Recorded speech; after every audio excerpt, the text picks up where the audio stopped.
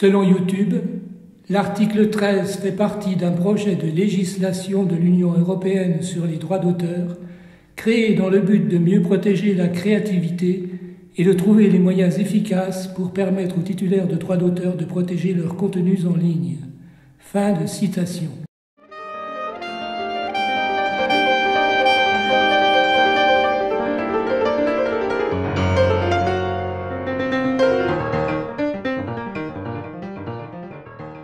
Par-delà les droits d'auteur, ce projet pose le problème de ce qu'est la créativité et, par suite, de ce que devraient être les droits de tous les créateurs.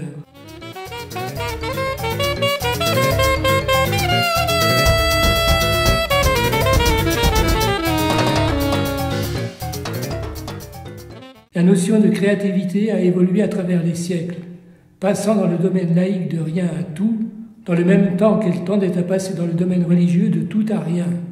Ainsi, au XVIIIe siècle, le seul créateur étant Dieu, les compositeurs, pour ne parler que d'eux, n'étaient pas considérés comme des créateurs, mais comme les élaborateurs d'un fond musical commun, où chacun pouvait puiser librement.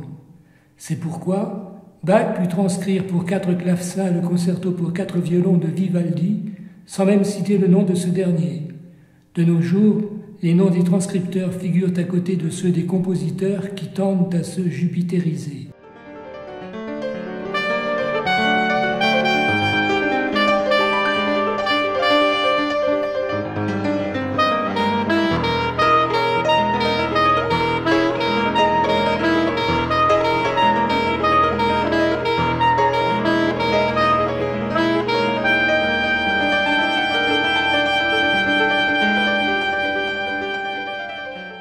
Cette évolution de la notion de créativité doit nous amener à réfléchir sur la notion de droit des auteurs et des créateurs en général, car ces derniers ne créent pas ex nihilo comme le Dieu biblique.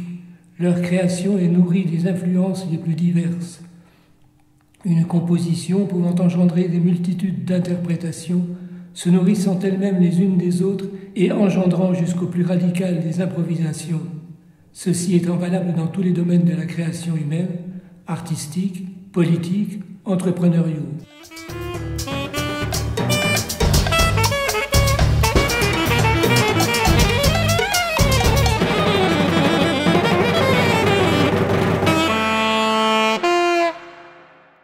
Tout cela pour dire que si l'article 13 veut permettre aux titulaires de droits d'auteur de protéger leurs contenus en ligne, il doit le faire en tenant compte de cet entrelacement, de ce tissu de relations qui fait la richesse de l'humanité.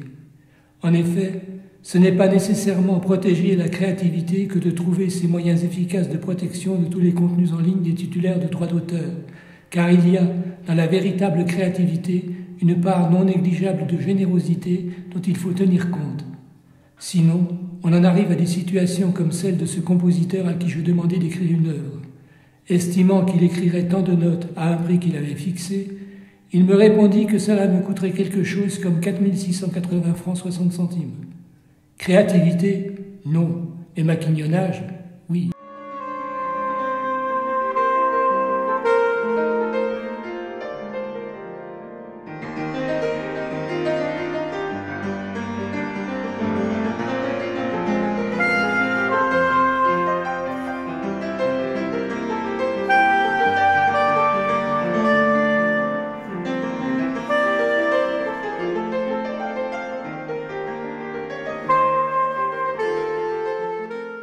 Un possible maquignonnage donc qui obligerait YouTube à bloquer des millions de vidéos, à mettre en péril, je cite, des centaines de milliers d'emplois, y compris ceux des créateurs, entrepreneurs et artistes européens, ainsi que les postes de leurs employés.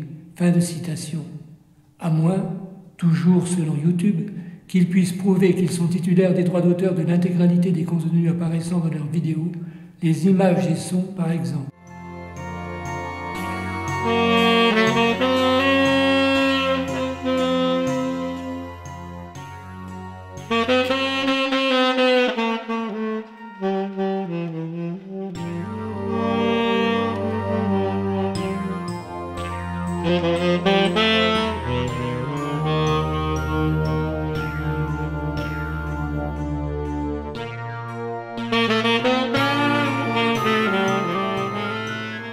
C'est pourquoi je suis tout à fait d'accord avec, je cite, le système proposé par YouTube, au sein duquel les plateformes et les titulaires de droits contribueraient, fin de citation.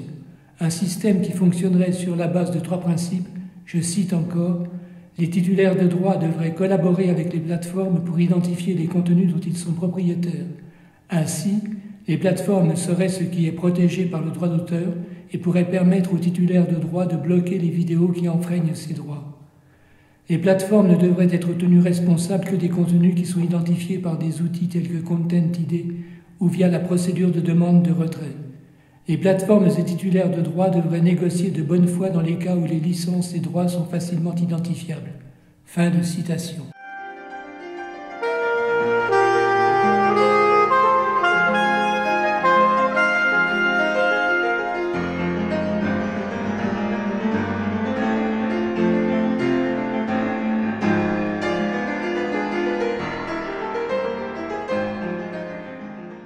Mais cela à la condition que les négociations des plateformes prennent en considération le donner et le recevoir, c'est-à-dire qu'elles tolèrent l'emprunt libre de droit d'un pourcentage d'images soumises à droit et de même d'un pourcentage de durée d'enregistrement audio, notamment pour les créateurs qui ne monétisent pas leur création, les offrant à tous les publics.